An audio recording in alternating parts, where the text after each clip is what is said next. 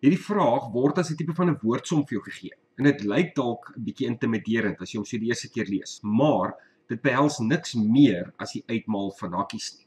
Jy moet net baie mooi dink oor hoe jy die hakkies gaan uitmaal en wat jy gaan maal in watter volgorde.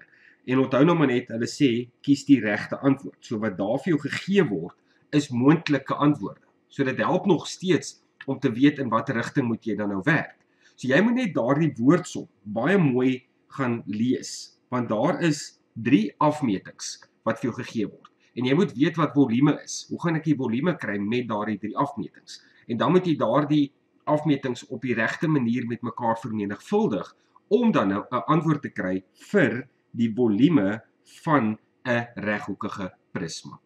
As jy al daardie instruksies baie mooi verstaan, baie mooi volg, dan sal jy sien hierdie vraag is eintlik baie eenvoudig.